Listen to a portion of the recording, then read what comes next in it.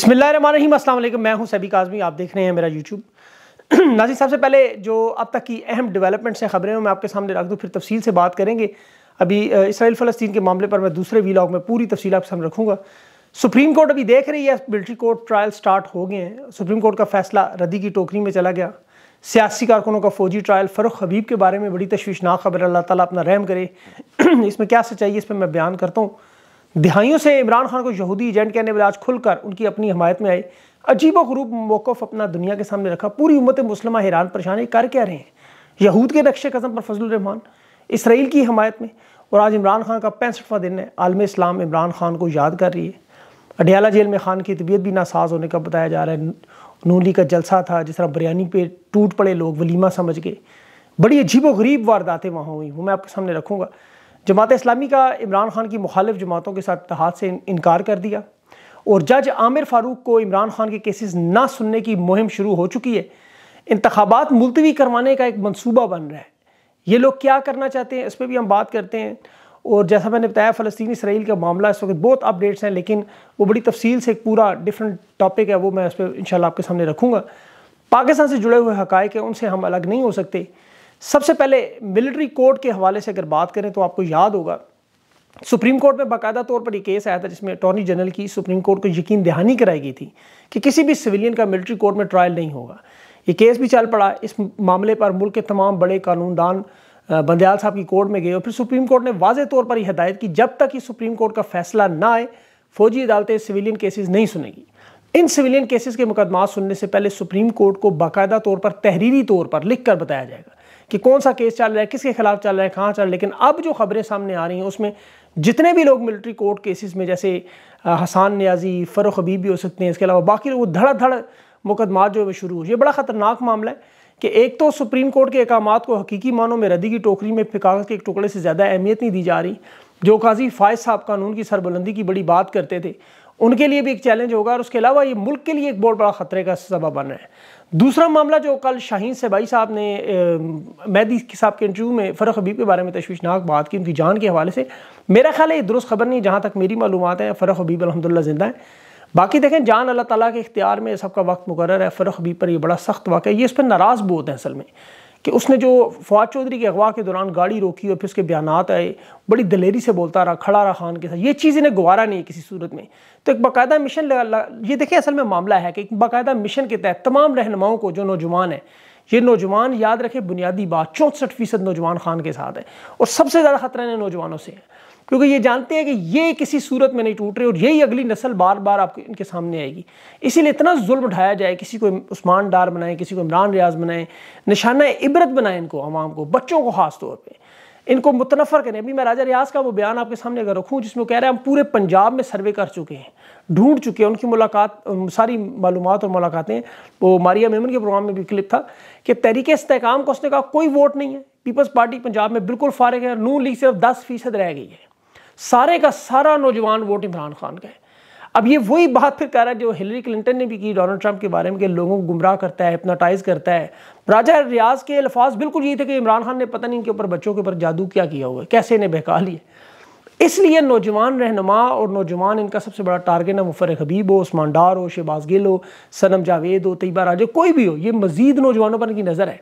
हसान न्याजी को गाड़ियाँ चलाने के केस में इश्तहारी करार दिया गया। अदालत पुलिस में रिपोर्ट बता रही है कि प्रोसिक्यूशन को, पुलिस को, अदालत को सबको पता है कि हसान न्याजी सब मिलिट्री कोर्ट ट्रायल में लेकिन उसके बावजूद चल रहे केस, ये कंपनी चाहती है किसी हर सूरत में तोड़ दे। तोड़ दे, इस तरह समझ नहीं आ रही। आप देखें नून के जलसे में, इन्होंने इससे सबक नहीं सीखा। कल मरियम नवाज़ का जो जलसा हुआ, वहाँ लोग मरियम से ज़्यादा बिरयानी का इंतज़ार कर रहे थे और बाकायदा तौर पर फिर ऐसी वीडियोज़ आई दिल चीरने वाली। बिरयानी की प्लेट हाथ में देकर उनसे ऐसी ऐसी बातें पूछी जा रही हैं कि भूख और अफलास जो इस मंसूबे के तहत बढ़ाएगी। देखिए, गुर्बत में इन्होंने इजाफा किया। अब उस गुर्बत को ख़रीदने की कोशिश और उसमें भी बुरी तरह ना कहा ये तरीका इन्होंने अंग्रेज़ से सीखा। अंग्रेज़ यही करता था। अपनी हुकूमत में सबसे पहले लोगों से रोज़गार छीनता था। फिर ये इलेक्शन कैंपेन चलाते, जिस तरह ये चला रहे लोगों को खाने का लालच। जब लोग आए, फिर मीडिया को मैनेज करके जलसा कामयाब बना दें। लेकिन लोग अब इज़्ज़त नफ्स पर समझौता नहीं करें। यकीन करें जलसा इन्होंने झुगियों के करीब किया। ताकि लोग जलसा गाह में गरीब आएँ, ज़्यादा ज़्यादा खाने के लिए आएँ। लेकिन ये इनके लिए एक सानहा बन चुका है, नून लीग के लिए। जहाँ मरीम नवाज़ इमरान खान की हर चीज़ की नकल, यहाँ उनका वो मशहूर आजकल पता है यूट्यूब फेसबुक पर, हम ना बाज आएँगे मोहब्बत से, वो भी चोरी कर लिया उन्होंने। सहाफ़ियों पर तशद वो उम्र दराज, सारा दिन नून लीग की बेचारा रिपोर्टिंग करता रहा, उसे बदतमीज़ी, उसके साथ मोबाइल फ़ोन छीना। अब एक तरफ़ पंजाब पुलिस तीन दिन पहले कुरान मजीद लिए लोग जमान पार्क के बाहर उन्हें गिरफ़्तार कर रही थी। आज नून लीग की देगों पर पुलिस बैठी हुई थी बाकायदा। और पीटीवी पर दिखाने का मकसद है कि दिखाएँ कि सब लोगों को कंपनी और नून लीग, ये एक पेज पर है, ये उनका मंसूबा है। ये पैगाम फैलाना चाहते हैं। देखें लोगों के बहुत से पैगाम आए हैं। इन्होंने जो कंपनी के नौजवान हैं, जवान इनके जो होते हैं, शेखुपुरा, गुजरावाला, कसूर, ननकाना, उकाड़ा से, उन्हें फोर्स किया है अपनून लीग के जैसे में अपनी फैमिलीज़ को भेजे जवानों की। ये नौजवानों की नहीं, जवानों की। इज़्ज़त नफ्स लोगों की ये मजरू कर रहे हैं। वो नहीं जाना चाहते वहाँ। फिर ये 26 साल से फजल रहमान, उसका टोला इमरान खान को यहूदी एजेंट बनाता रहा। लेकिन ये अल्लाह का वादा है ना कि हर एक ज़ाहिर और बातिन ज़ाहिर किए बगैर उसे जाने नहीं देगा। तो हकीकी मानों में अल्लाह लट नहीं मारता, वाकई मत मार देता है। वरना ऐसे हालात में जो फजल रहमान इसराइल की इस तरह हमायत कर रहा है, वो बाकायदा वीडियो बना के, जहाँ दुनिया का कोई जी शूर शख्स ऐसी हरकत नहीं कर सकता। आप सबको छोड़ें, सब बातें एक तरफ़ की। जैसे ये माशरे की, जिसे हम गंदगी समझते हैं ना, एक तवाइफ समझते हैं। मियाँ उस मियाँ साहिबा मैं ऐसे कहूँगा, बल्कि उसकी इज़्ज़त से नाम इसलिए रहा हूँ कि उसे फ़र्क है कि गलत और सही क्या है। जो उसका प्रोफेशन है वो अपनी जगह। दुनिया से गंदगी की दुकान समझती है लेकिन उसका ज़मीर ज़िंदा है। उसने खुलकर इसराइल की मुखालफत की ज़्यादा की आवाज़ उठाई। और फजल रहमान को शर्म नहीं आई और इसने जो बात कर दी, वो ये साबित कर रही है कि इनके दामन में वाकई कुछ भी नहीं बचा। या इस हद तक गिर चुके हैं कि इन्हें पता है कि इकतदार का एक ही रास्ता है, वो इसराइल और अमेरिका के दरवाज़ों से सर झुका कर यहाँ से आता है। देखिए, होना तो ये चाहिए था कि सिविल और अस्करी की आदत मिलकर फ़लस्तीन की हमायत में या उनकी मजम्मत में इसराइल की बात करती, लेकिन उन्होंने आमतौर पर तो कहते हैं ना, बिली थैले से बाहर आई। इस दफ़ा इनके छोटे छोटे पिल्ले बाहर आ गए। ये सोशल मीडिया के नौजवानों को पिल्ले कहते थे, इनके अपने पिल्ले निकल आए। और पिल्ले निकल के उसी तरह भोंक रहे हैं, जिस तरह मालिकों की मर्ज़ी है। ये मैं इसलिए कह रहा हूँ कि वहाँ देखे क्या जुल्म हो रहा है और ये क्या बातें कर रहा है। नवाज़ शरीफ वजी अजम रहने वाला शख्स गुलाम, जहनी तौर पर गुलाम, उसकी भी एक ट्वीट एक बयान, एक लफ्ज़ इस पूरे बारे में आओ ये दावा करता है पाकिस्तान का रहनमा है। इसने पूरे मामले पर कोई बात की और ये कभी नहीं करेगा। अगर करेगा भी तो फजल रहमान की तरह करेगा। इनकी खारजा पॉलिसी भी यही है। अपने हम वतनों पर जबर करो, जुल्म करो तशद करो, अगवा करो, कोर्ट मार्शल करो, मिलिट्री ट्रायल करो, उन्हें रास्ते से हटा दो। जब बात कश्मीर की आती है तो वहाँ पर तराने बनाओ, जंगी ड्रामे बनाओ, फ़िल्में बनाओ लोगों को जा जा निकल जा की तरह लगा दे। अमेरिका की बात है तो ग़ुलामी करो पॉलिशी करो जी हजूरी करो गंदी बातें करो। यूक्रेन की बात है असला और गो, गोला बारूद भेजो फ़लस्तीन आए तो वहाँ दुआएँ करो कौम को निकलने ना दो। जिस सदर ने ये ट्वीट आरफ तलवी ने ट्वीट की और फिर वजी अजम ने जैसा दुनिया के सामने मौका इतना अजीब गरीब मामला यकीन करें एक रैली नहीं इन लोगों ने निकलने दी पाकिस्तान में फ़लस्तीन के हक में किसी तरह भी इस्टेब्लिशमेंट के सामने जब डॉन लीग का इशू आया था जिसमें नवाज़ शरीफ ने वाजे तौर पर इल्ज़ाम लगाया था। आपको याद उस पर इन्होंने रिजेक्टेड के स्टैंप लगा के परे मार दिए। नौ मई हुआ तो वो रियासत की प्रेस रिलीज़ निकाल दी। आज ये लोग डील का बयान जब बात करते हैं तो उनकी टांगे खुद कांपना शुरू मसीने माथे पर पसीना आए इसराइल की बात नहीं कर सकते। इमरान खान के खिलाफ देखे, कोई जुर्म साबित नहीं हुआ। टॉर्चर सेल में रखे हुए जितने लोगों से बयान वरना दिलवाने की ज़रूरत ना पड़ती। बंदूक की नोक पर तहरीक इंसाफ के रहनुमाओं से बयान, उनकी कोई वैल्यू नहीं है, कानूनी और इखलाकी। अगर बयान ही देना तो लोग दो साल पहले दे देते। अब चौदह सियासी जमातें इस्टेब्लिशमेंट अदलिया इलेक्शन कमीशन मीडिया ब्यूरोक्रेसी बैन अवी सब मिलकर पिछले दो साल हो चुके हैं। आयन कानून और जमहूरियत की धजियाँ बखेर के आज तक ये साबित नहीं कर सके। खान के खिलाफ एक बात भी अब तशद और ब्लैक मेलिंग करके गवाही बनाने की कोशिश। अभी मजीद कोशिशें हो रही परवेज खट्टा की दो नंबरियाँ देखें। जमा, उस, जिसको उन्होंने बनाया, जमात इस्लामी के लोगों को पार्टी में शामिल कर रहा है मदारस और मस्जिदों के रजिस्ट्रेशन के नाम पर मीटिंग पर बुला के वहाँ लोग कह रहे हैं, नहीं हम तुम्हारे साथ शामिल हो ही नहीं सकते मजहबी को भाई नहीं। हम खान के खिलाफ इतिहाद में कोई भी इनके खिलाफ साथ नहीं मिल रहा। धोखे से बुला के लोगों को घेर रहे हैं। और अब नवाज़ शरीफ का जो दो हज़ार चौबीस का बयानिया, वो भी देखें, बाजवा हमारा भाई। ये जिस तरह उन्नीस सौ अस्सी में जयाउल हक का मुँह बोला, बेटा भी बना रहा, उसकी कैंपेन चलाता रहा। नवाज़ शरीफ की तमाम deals mother of all deals जैसे कह रहे हैं मीडिया मदद करके अभी डायरेक्ट या तो नोटिफिकेशन जारी करके उसे वजी लगा दें, अरबों रुपये इलेक्शन पे बचाएँ। इनकी कोशिश क्या है? अब इनके पास भागने का, ये देखिए सात जलसे नवाज़ शरीफ आमद से पहले उन्होंने इसीलिए रखे हैं कि सारा ज़ोर, सारा पैसा, सारी ताकत स्टेब्लिशमेंट मिला के सब कुछ करके देख लें, अवाम खड़ी कहाँ है? अब वो उन्हें नज़र आ गए। अब इंतबात से भागना है। ये चाहे बेशक मार्शल लगाना पड़े, इन्हें मंजूर है। फजल रहमान, नून लीग, इनके तहादी ये अब हीले बहाने करके किसी तरह इलेक्शन को मुलतवी करना चाहते हैं। नई इलेक्शन लड़ सकते कभी। कभी इसराइल फ़लस्तीन की सूरत हाल का बहाना भी बनाएँगे, पाकिस्तान के मौशी हालात का बहाना बनाएँगे। और उसके साथ साथ देखें, अभी जो एक बहुत बड़ी इनकी वारदात होने लगी, वो एक वबा अजीबो गरीब आप दो अक्टूबर की जंग की अखबार उठा के देखिए, इसमें उन्होंने पूरा पहले एक नया वायरस निकाला, नीपा वायरस। उस पर इन्होंने आहिस्ता आहिस्ता उसको फैलाना शुरू किया। जी, चौहत्तर फ़ीसद खतरा है, लोग बड़ी तेज़ी से, वही वारदात। जानवरों से, इंसानों इंसानों से एक शख्स से दूसरे, और डरा रहे कोई वैक्सीन नहीं है। और वही पुराना फार्मूला चमगादड़, खंजीर, उनसे, एक दूसरे से। मतलब लोगों को बाहर नहीं निकलना इंतबात से दूर रखना और लॉकडाउन लगाना है। ये मैं आपको बता रहा हूँ, ये कोशिश करेंगे किसी तरह लॉकडाउन लगा के। मीशत तो वैसे ही तो बर्बाद है, कुछ रहा तो है नहीं। अब इनके पास तो कुछ भी नहीं है, ऐसा ना मनसूबा कि जिन्होंने पैसे ये नवाज़ शरीफ को लाकर थोड़ा सा जेल में भी रखना चाहते हैं, फिर उस दौरान जब इंतबात की तखीर हो जाए, मुलतवी हो जाए, फिर उसे जेल से निकाल के इनकलाबी लीडर बनाकर पेश करें। और फिर उसका इमरान खान की जेल, जो इमरान खान आपको होता है, मकबूलियत, मजलूमियत में आप सबसे ऊपर, ये उसके साथ मुवजना करके जी खुद गिरफ्तारी देने आए।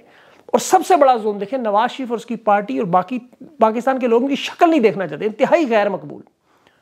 उसे वजारत उजमा पर लाकर वही कोशिश जो उन्नीस सौ इकहत्तर में, जिस तरह जुल्फ़ार अली भुट्टो के पास सिर्फ़ अस्सी नशस्तें थी, इन्होंने कहा जी जुल्फ़ार अली भुट्टो सबसे मकबूल तरीन पाकिस्तान का रहनमा और ज़बरदस्ती हुकूमत बनाई। नतीजा क्या निकला? बांग्लादेश बन गया। शेख मुजीब उस सौ साठ सीटों के साथ सबसे ज़्यादा अक्सरियत था। उसे इन्होंने जेल में डाल के गद्दार कर बिल्कुल इमरान खान वाला। तारीख दोहरा रहे आज पैंसठ दिन हो गए इमरान खान इस काली मौत की चकी वाली कोठड़ी में यकीन करें। और उसकी मकबूलियत का आलम यह है कि 2021 की उसकी एक ट्वीट के मैं गज़ा के साथ हूँ, वो पूरी मकबूलियत के रिकॉर्ड तोड़ रही है। वो सामने भी नहीं है, लोगों की धड़कनों में रहता है, लोगों के दिलो दिमाग में रहता है। कल मेरा आपने फ़लस्तीन के रहनमा से इंटरव्यू सुना। मेरी फ़ोन पर बेतहाशा लोगों से बात हुई। बार बार हर एक की बात में, खान, इमरान खान इमरान खान। इनके अपने जलसों में बच्चे कह रहे हैं, खान है पहले भी ब्रांड था, आज भी ब्रांड है. अभी वो मीडिया की बात करें, उमर दराज रिपोर्टिंग कर रहा था सच्चाई की, हामिद मीर, इन सहाफ़ियों की वही वारदात जो इंटरनेशनल मीडिया की, वो तकबर के लेजे में गरीब बच्चों को ताने मारा है सोशल मीडिया पोस्ट पे पकड़े माफिया मतलब ये वो हामिद मीर का एक प्रोग्राम बंद हुआ था, इसने बाकायदा तौर पर पैर पकड़े थे। मैं ये साबित कर सकता माफ़िया मांगी थी, लिख कर दी थी, मेरे पास रिकॉर्डेड कॉल मौजूद है जिस शख्स की। लेकिन खैर, मैं इतना गिरना नहीं चाहता इनकी तरह। ये इमरान रियाज और इन लोगों पर तंज कर रहा है। जिसका जवाब तो बड़ा लंबा मैं दे सकता हूँ, लेकिन इन लोगों पर बात करके टाइम ज़ाया करने वाली बात है। पाकिस्तानी मीडिया के किरदार में मुझे अफसोस है। बिल्कुल वो कर रहे हैं जो इंटरनेशनल मीडिया फ़लस्तीन के हवाले से, उसी तरह तरीके इंसाफ के साथ। आज इनकी रिपोर्टिंग देखें आप, बिल्कुल वही वारदात। एक नैरेटिव बनाना कि जिन लोगों को मतलब ये इस बेहयाई, बेशर्मी से गुजर चुके हैं, यकीन करें। वो एक प्रोग्राम कल लगा हुआ था, उसका क्लिप मेरे सामने आया, जिसमें वसीम अकरम, मोइन अख्तर, नाइन्टी टू के हीरो बैठे हुए थे। वहाँ मेज़बान फ़ख्र आलम। अच्छा वो फ़ख्र आलम कौन है? ये जनरल रानी अकरीम अख्तर का नवासा। बहुत से लोगों को शायद ना पता हो, इसकी वालदा रूसा आलम साहिबा। सहाफ़ी पाकिस्तान में, वहाँ वज़ी अला बादल सिंह पंजाब, उसके साथ रहती है। बिना शादी के बाकी। खैर, उनका ज़ाती मामला है, उससे मुझे कोई गर्ज नहीं। वो जो मर्ज़ी करें। ये फ़ख्र आलम सब पता है इनकी मासियाँ, नानियाँ, मैं, सारी ऐसी। लेकिन ये एजेंट है किसके कंपनी के, हर प्रोजेक्ट का हिस्सा। ये दौलत का अंबार, ये जहाज़ जो नज़र आते हैं, इस्लामाबाद में प्लाजे वगैरह, ये सारे इधर जनरल नानी ने, अवाम का माल। अवाम का माल, और क्या बकवास क्या कर रहा है उसको? ये या खान का माल था सारा, जो से देता था, अपनी रखेल जैसे कहते दाश्ता कहते जिसे। ये शो में कासिम के अब्बा, वसीम अक्रम के चेहरे के तासुरात देख के बता रहे थे कि किस कदर गुस्सा कंट्रोल कर रहे हैं। पर ऐसे ही घटिया लोग हैं, इसमें सईद अजमल उसने भी होस्ट को भी डांटा था कासिम के अब्बा, क्या कासिम का नाम लो, इमरान खान का इतने बुजदिल लो। चाँद पे पर्दा करने की कोशिश छुपाए चाँद चढ़ चुका है इन्हें, चौदहवीं का चाँद, और इनका डूब चुका है। अब देखें, तहरीक इंसाफ को थोड़ा खुलकर सामने आना पड़े। अभी आ तो रहे हैं वो, अभी खान के मुकदमात के सिलसिले में। तोशाखाना केस में जो ट्रायल कोर्ट का फैसला है, जज आमिर फारूक का, उसके बारे में सेंट्रल मीडिया का सर्कुलर में नज़र से गुजरा है कि जी कानून इंसाफ को मज़ाक बनाया इन्होंने, जज आमिर फारूक ने। इसे इस मनसब में बैठने का हाल कोई हक नहीं है। सियासी इंजीनियरिंग कर रहा है, बदमजाज, बदजबान और तसब जज खान को सज़ा दिलवाने पे, सुप्रीम कोर्ट में इन तमाम केसेस पे। इसे अलग करेंगे, एक थोड़ी सी इन्होंने ज़रूरत की है, लेकिन ये अदालतों पे बात करें ज़रा खुल के थोड़ा सा इनको आना पड़ेगा मैदान में। बहरहाल उनकी अपनी स्ट्रेटजी है, सियासी जमात के हवाले से वो बेहतर समझते हैं। मैं इन सारी बातों में जो देख रहा हूँ, मुझे जो जुल्म आपको पता है हो रहा है इस वक्त, वो नज़र नहीं आ रहा पाकिस्तान में उस तरह आवाम की हद तक तो नज़र आ रहा है। लेकिन उसको हुकूमती सतह पर जिस तरह छुपाया जा रहा है, इसके बारे में मैं पूरी तफसील के सामने आपके अगले वीलॉग में रखता हूँ कि ये किस तरह कौन कौन से ममालिक हैं किस किस का क्या किरदार है और ये क्या हो क्या रहा है। अभी आगे इसमें बहुत सारी नई अपडेट्स आई हैं, नई डेवलपमेंट्स आई हुई हैं। अगला वी लॉग इंशाल्लाह उस पर मैं सारी बात उस पर तफसील से करूँगा, लेकिन पाकिस्तान से जुड़ी हुई खबरें भी आपके पास पहुँचाना ज़रूरी हैं, ताकि आप पता चलता रहे कि हम इसको नहीं भूल सकते, क्योंकि जो गदर वहाँ मची है, वो गदर हमारे साथ भी मची हुई है, वही जुल्म सितम यहाँ भी हो रहा है। आप पुराने फोटेज़ यकीन करें, कभी सामने आते हैं, ऐसी समझ नहीं आती ये पाकिस्तान के मनाजर हैं या फ़लस्तीन के मनाजर हैं। बिल्कुल वही वारदात, सब कुछ वही। तो इसलिए उन्हें हम भूल नहीं सकते, उनके उनके साथ हम खड़े हैं, लेकिन यहाँ हम अपने मामला को पीछे छोड़ नहीं सकते। तो इसलिए ये भी ज़रूरी है। अपना खास ख्याल रखें, चला अगले वीलाग के लिए मुझे इजाज़ दें। अल्लाह हाफिज़।